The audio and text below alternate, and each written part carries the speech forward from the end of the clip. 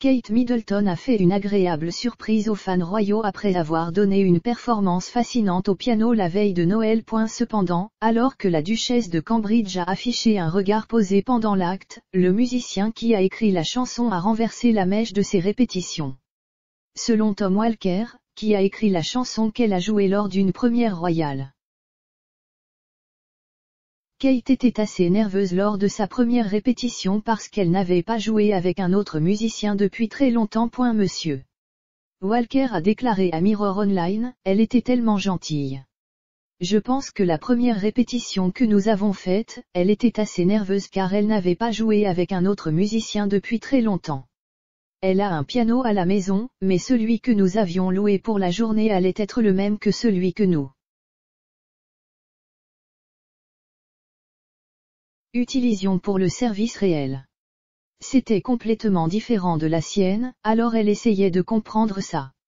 Elle est juste adorable, vraiment détendue, très gentille, semble vraiment accessible et vraiment vraiment adorable.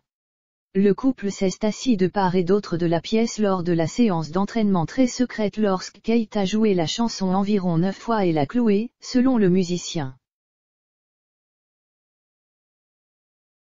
Kate Middleton a répété en secret pour une performance surprise à la baie de Westminster sur un homme qui a perdu son grand-père pendant la pandémie.